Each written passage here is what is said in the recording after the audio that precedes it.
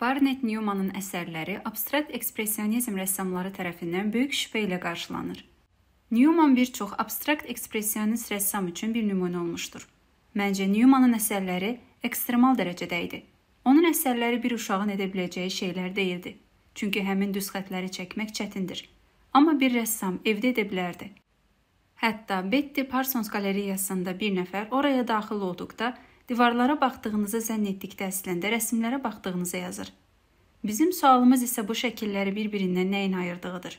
Newmanın əsərlərindəki bu təbəqələr sıradan rəssamın edə biləcəyi işlər deyildi. Amma o, saturasiya və tonun incəliyini əldə etmək üçün əsərin səthinə fokuslanırdı. Həmçinin əvvəlcədən təyin edilmiş sahə üzərində işləməyib. Newman fərqli duyğular arasında əlaqə qurmaq üçün bütün divar üzərində işləyirdi. Yəni onun aldığı qərarların heç biri o qədər də sadə değildi. Newmanın etdiyi dərin duyğular və hisslər arasında əlaqə yaratmaqdır. Günümüzdə onun etdikləri dəbə uyğun olmazdı.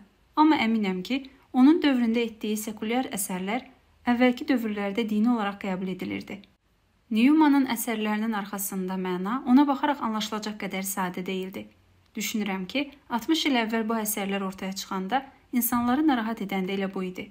Newman ilə bütün gözləntilərinizdən vaz keçib rəsmi fiziki və psixoloji təcrübələrinə buraxmalı idiniz.